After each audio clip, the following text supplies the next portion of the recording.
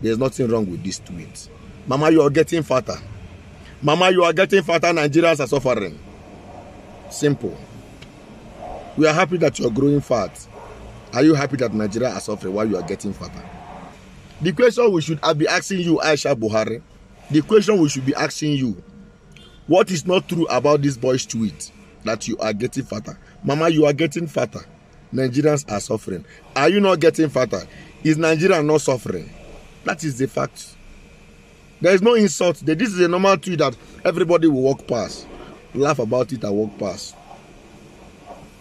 The tweet that has been like, remember when this tweet was like when this boy tweeted this? That this was around June, but went viral recently, and uh, you decided to arrest this boy because of the power to seek nature in you or in us, black.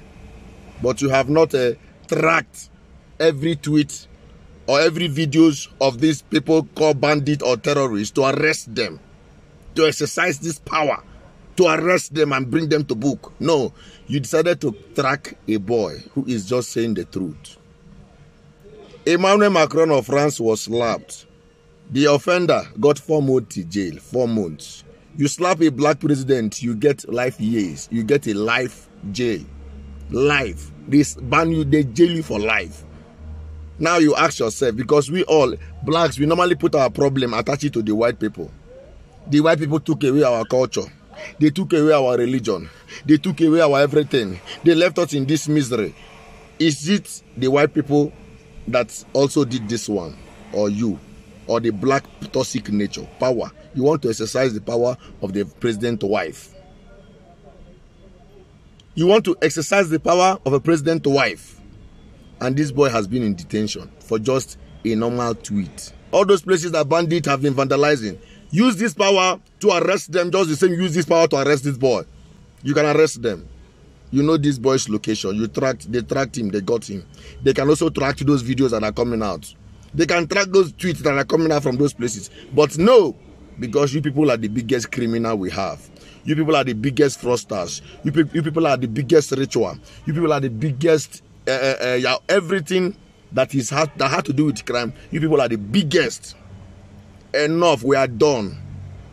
Some of us are not even. We are done. You can't do this to a boy who who did nothing. He did not insult you. He did not insult you. He said the truth. That is the truth. But why? What does he get in return? You are exercising your power of being the vice president of the uh, of being the president wife on him use this power this energy this same energy power time wey take arrest this boy.